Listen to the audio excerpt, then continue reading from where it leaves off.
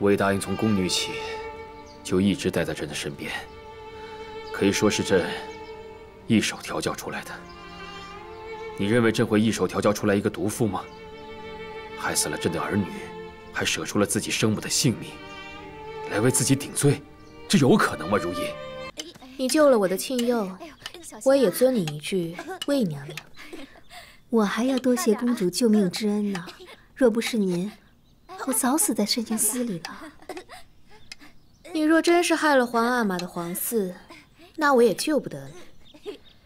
但既然你无事，那我也不会由着庆佑的救命恩人困在慎刑司里。十三阿哥之事，我额娘确实有罪。只是她真的气不过，我动辄就被皇后掌嘴、罚跪、是板柱之刑，所以就一时糊涂，要除了皇后腹中的孩儿为我报仇。如今。我额娘已经死了，这皇后，你非要让我也死了才快活？我就奇怪了，你说你既没家世，也没子嗣，究竟是哪一点出挑了，能让皇后动辄挑你的刺儿？因为我做奴婢的时候，伺候过孝贤皇后。这也是皇后最讨厌的。小心啊！如今我亲生的七公主交给颖妃抚养了，我在这宫中啊，更无立足之地了。就算逃得过今日，也不知道哪一日，这皇后啊，又要将我除之而后快了。那她可没那么容易。我既无子嗣，也无恩宠，我还能如何呀？如今有皇后拦着，我连皇上也见不到。其实啊，我也不求什么恩宠了，只希望能再有一个孩子留在身边，有个依靠，那便是最好的了。来，坐。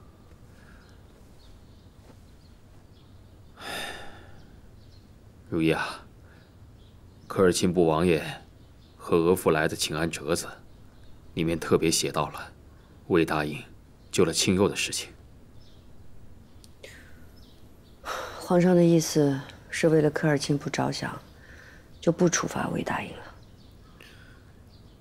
王禅在慎刑司被用刑，不是什么也没招认吗？这让慎刑司对魏大英用刑了，可是他招无可招。再用刑下去，只怕是屈打成招了。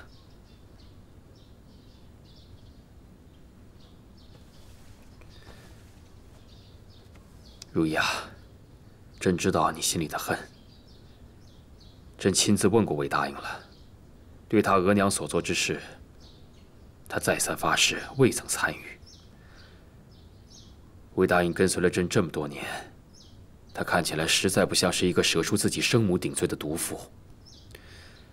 再说了，景思夭折的时候，他没有皇子，他也实在是没有争宠、谋害嫡子的必要。皇上信他的话？朕不是信他的话，是现在没有证据。他救的是科尔沁部王爷的亲孙子，是满蒙联姻的硕果。此番若是没有他，清幽。只怕是性命难保。再说了，景色与额驸姻缘不协，若是没有庆佑，只怕他们是会和离了。这联姻要如何连得下去呢？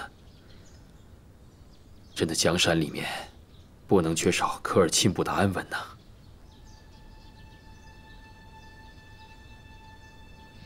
皇上又要让臣妾顾全大局了。皇上一直要臣妾顾全大局，臣妾也一直为大局忍耐。只是永景，连你我的面都没见过就走了。景嗣，小心翼翼的把他养那么大，也有可能是魏延婉所害，走的这么可怜。永景和景嗣之伤，朕何尝不心痛啊？但是朕不只是他们的阿玛，更是一国之君。你不只是他们的额娘，你更是一国之母啊！这臣妾怎么会不懂得？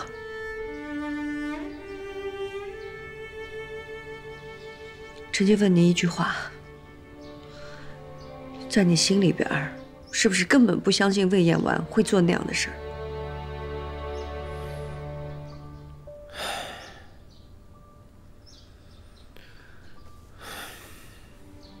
魏答应从宫女起，就一直待在朕的身边，可以说是朕一手调教出来的。你认为朕会一手调教出来一个毒妇吗？害死了朕的儿女，还舍出了自己生母的性命，来为自己顶罪，这有可能吗？如懿，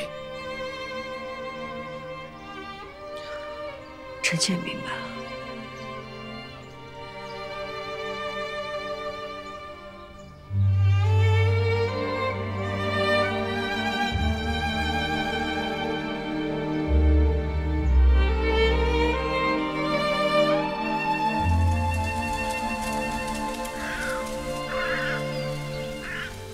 儿臣瞧着魏娘娘可怜，她的额娘的确有错，但魏娘娘身在孕中，猛然不知情，替母受过半年也够了。还有皇额娘，也太揪着不放了，不顾您的心情。你皇额娘岂是你所能议论的？不要太过无状。儿臣耿直，看不下去。不就为了那个王禅，在火场抱了一只和富贵相似的狗吗？那样的野狗，火场那儿常有。儿臣小的时候就见过，做不得数。你帮魏大人说话，就该知道他涉及永景之死。想要十三弟死的人，怎么会救庆佑呢？皇阿玛，魏娘娘之前没见过庆佑，更不知道他是儿臣的孩子。他能有这份善心，是因为您的教导。魏娘娘、额娘。是粗鄙贪婪之人，想来和他不是一路人。对了，额父很关心庆佑。若不是看在庆佑的份上，若不是想着额娘临崩事前的叮嘱，儿臣早不愿做这个克尔沁部的儿媳了。这孝贤皇后总是能顾全大局，当年再不舍。还是将你舍出了，远嫁蒙古。额娘能顾全大局，那皇额娘呢？庆佑是儿臣和额父唯一的孩子，更是科尔沁部的嫡孙，将来是要继承王位的。魏娘娘救的可不只是儿臣的孩子，更是科尔沁部的继王和未来。